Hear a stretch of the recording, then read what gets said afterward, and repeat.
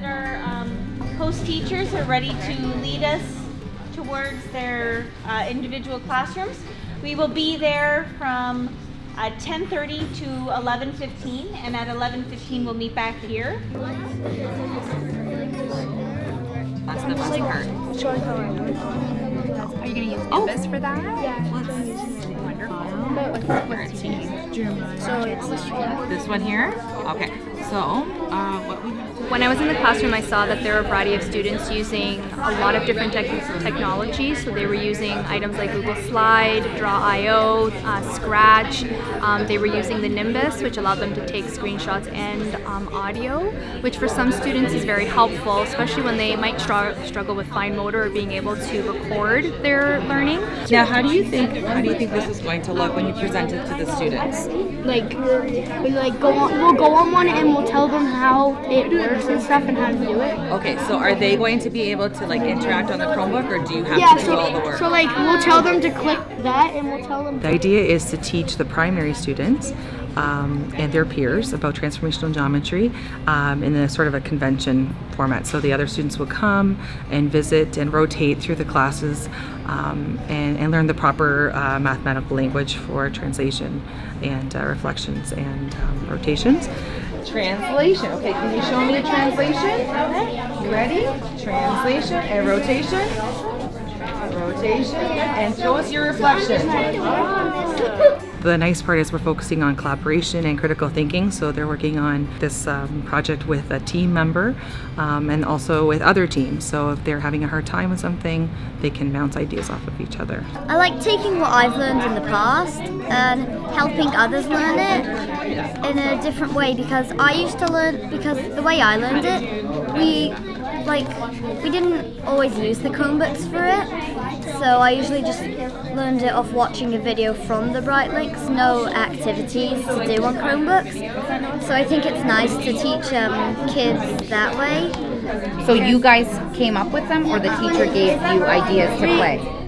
On another project, we had to do like math games. We looked at them and s- said how um, what ones were good or not, and then we got them off. Yeah. Oh. So then you had to rate the games. Yeah. And then from that, you guys came up with your games for your for your project. Fashion designers use it to make the same side of like a shirt, and then video game designers use it to make create create characters and worlds. Yeah. What we're doing is we're using the Draw.io app, and there's like we're building kind of like a work area, and so there's like a desk and almost a garbage can, and we're gonna teach them about like rotations and flips and translations. Uh, I'm just using it to know how much, how well I am explaining it, and if they actually understood what I was saying, or if they didn't understand. So yeah, that's what I have here.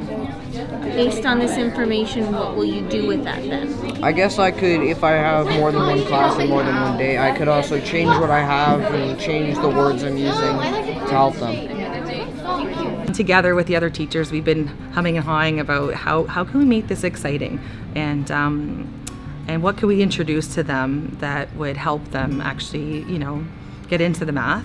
And uh, so we thought, why don't we do some sort of um, like a fun day where they get to be peer teachers? I always find that if they um, have that role of being um, a teacher, that they take it more seriously, um, and they're always they, they care what other students think about their work.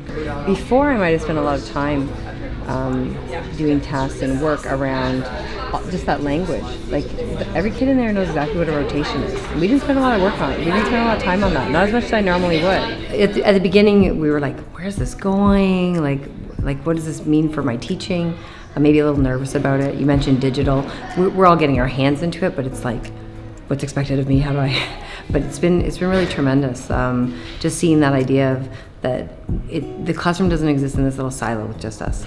It's this bigger community. So by inviting other people to participate in the classroom, um, having the kids access the digital, so it, it almost ends up being a byproduct of them using the tools and doing this project. Is that they're experts on on using that transformational geometry language, whereas before I would spend three weeks ham- trying to hammer that language into their heads.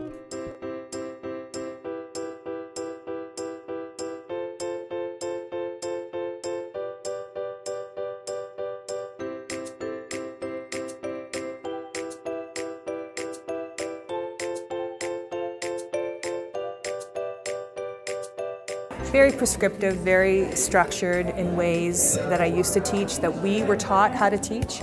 And now it's really truly as teacher as facilitator. So getting out of my comfort zone, learning the tools almost at the same time as they are, and truly taking a step back and letting them I wouldn't say take over, but just branch out a little bit with my support. Um, well, me and Carell, we're doing a project on a marine biologist. Um, um, well, there's nothing really to explain about it except that we're um, that they use transform- transformational geometry and they use it um, like with making like the cage using like volume um, in the oceans. I, I, I love um, the ocean, so I cho- that's why I chose it. Really, truly, what's impressed me is the students don't, and I've, I've had fear of this, had come back to me saying, "You're supposed to be teaching us. You know, why don't you know this?" Not a one, not one syllable has come out in that way. You can translate a lot of shapes and put pictures in it, so you can create small problems Yeah. and explain some stuff. So the object of our problem is you're an architect and you're trying to design a good room layout. So you have to figure out how you would move the items to the proper spots to get the best layout. They are more than eager to really uh, take on the role of being a leader and showing us, showing us how to do things. So I'm, I'm in charge, but in a, in a class management sense, but really they're in charge of their own. Really quickly, I could make a, reg- a regular polygon. I could make a square, and then I could make a vector. I feel like there's more exploring in this than on actual paper. It feels like we like everybody's been doing paper forever and we need something Yeah. new. Digital tools that have become available to us have allowed me uh, personally to, to change my way and allow me to um, explore ways with the students to facilitate their learning. And it truly has been, uh, you know, very, very, um, very engaging for me personally as a teacher, and I think I see it in my students too.